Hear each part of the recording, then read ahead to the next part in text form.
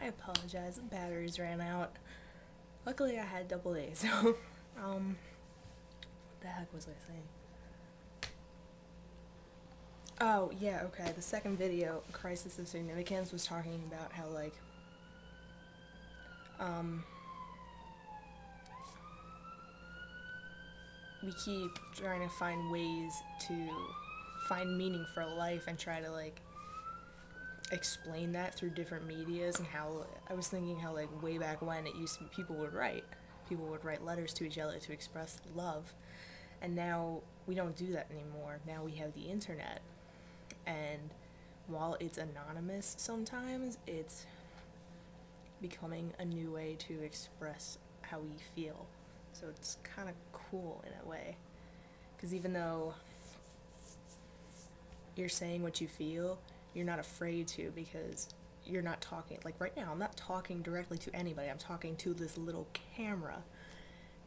And although I was thinking about how this was going to be and I know if I talk to myself I'm usually more comfortable with that. I talk to myself a lot. But if I talk to myself I'm comfortable with it because I know nobody else is going to hear what I have to say. And now it's a little more awkward because I know somebody's going to be watching this when I go back to class on Monday. So um, oh, another thing about YouTube was they're talking about um, a loss of community and how YouTube has become its own community. And um, they brought up how TV is isolating, and it made me think of um, the song Crash and Burn by Savage Garden. If you ever watch the music video, they have little clippets of text throughout the music video, and one of them in the middle was like television is a one-way conversation and at the end they say stay connected anyway anyhow.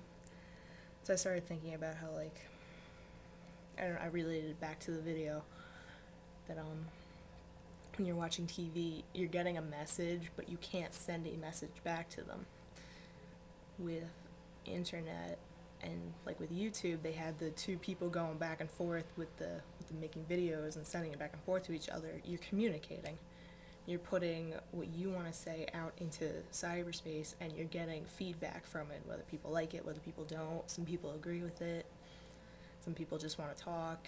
It's it's kind of cool. Oh, I wrote free hugs. I love that little segment about free hugs because I found out about it through YouTube, and now I have the shirt and um,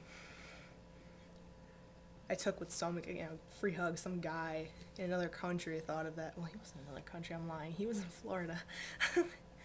but um, it made me want to go out and connect with the strangers in my community. Like, hugging complete strangers. I never thought of that. I'm very, I don't like to touch people, but that was really cool.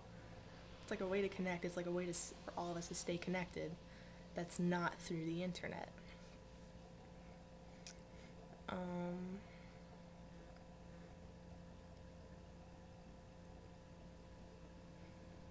yeah, I feel like that's uh, that's about it.